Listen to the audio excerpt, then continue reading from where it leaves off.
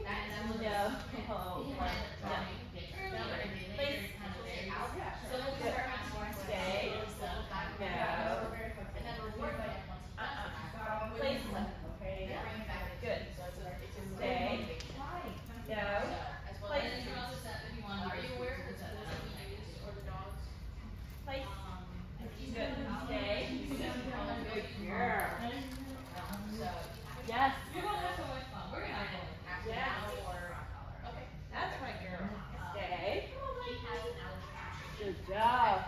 Stay.